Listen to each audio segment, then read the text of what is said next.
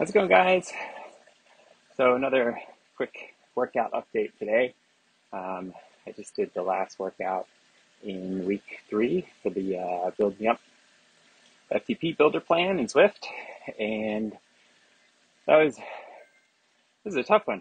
Um, the end of a long, long week actually. There were a lot, a lot of longer workouts this week. Because, uh, this one was an hour, basically an hour and a half, and there was uh, another 90 minute one so it was an hour and 45 and then uh, an hour. Um, so I also did a race this week. So it was something about six hours or so on the bike this week. So that's that's a lot. Um, if it was outside, it'd probably be probably be okay. But six hours on the trainer is, uh, yeah, that's there's a lot of time on the trainer. Uh, it gets a bit boring, but um, kind of caught up on some podcasts and things. But uh, yeah, so it's a lot of uh, sweet spot training this week. So sort of zone three, zone four ish.